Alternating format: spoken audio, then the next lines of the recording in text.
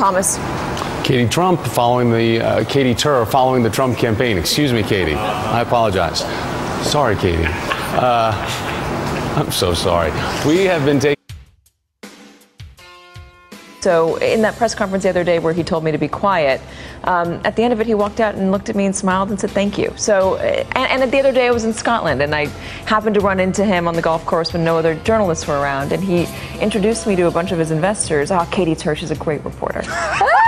and, and, then he caught himself. He said, sometime.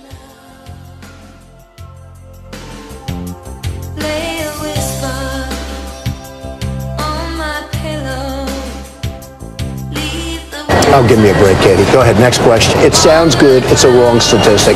Check your numbers. It's none of your business. It's really none of your business. By the way, you're going to mention the ones that do like Trump? You don't do that, do you? while I'm wasting my time talking to you, which is, you know, essentially one-sided, but that's fine. But while I'm wasting time talking to you, I could be doing deals on other things. And so I'm losing out on hundreds of millions of dollars. You're not bringing up anything new. You know, you're acting like you're the great reporter, blah, blah, blah. The Pew Research says that there are, for immigrants on the whole create. Or, Come on, try getting it out. Try getting it out. I'll get it out. I mean, I don't know if you're going to put this on television, but you don't even know what you're talking about. Try getting it out. Go ahead. The way you put it, everything's so negative. It's too bad that she mentions only the negatives. You don't want to mention all the positives. She's back there, little Katy. She's back there. What a lie it was. No, what a lie. Katy Turner. What a lie it was. Third-rate reporter. Remember I don't think he fears anybody. I think Donald Trump sees himself as someone who he can fears stand you. up. I'm sure he fears you. I, I, well, I think he does fear me because who wouldn't fear me, frankly, right?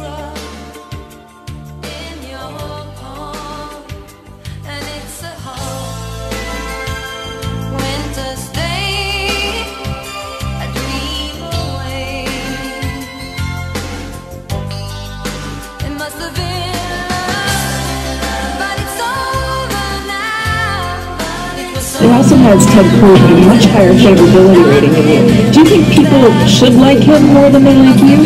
What's your next question?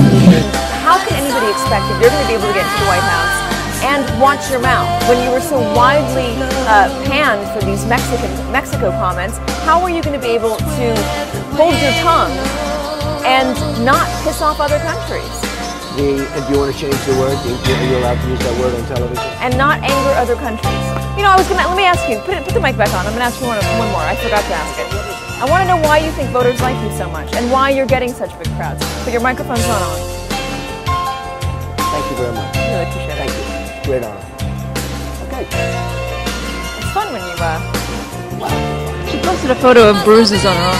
Well, I don't know. How did they get there?